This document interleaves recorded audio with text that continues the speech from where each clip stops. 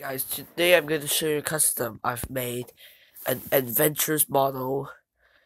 This is made from a talking Thomas. His name, this is Roger, the number 77 dark blue tank engine.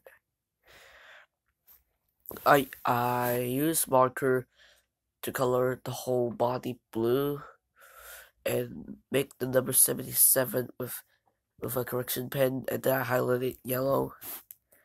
The other side looks the worst. And he's got a white footplate and black buffers. And the big difference is the face of Thomas.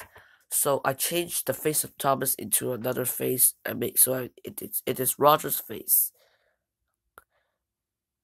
So yeah, that is the end of my video. And I hope you enjoy. And please like and subscribe. I'll see you next time. Goodbye.